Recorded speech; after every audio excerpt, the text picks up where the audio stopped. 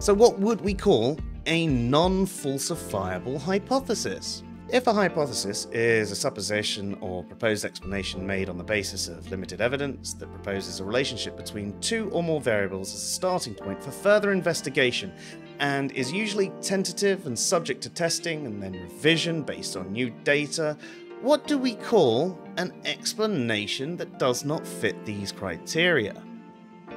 If a proposed explanation does not meet these criteria, it might be regarded as a non falsifiable hypothesis, as it cannot be tested or proven false by any observation or physical experiment. Therefore, it does not count as a scientific hypothesis, it's basically mere conjecture or assumption or a, be- a belief.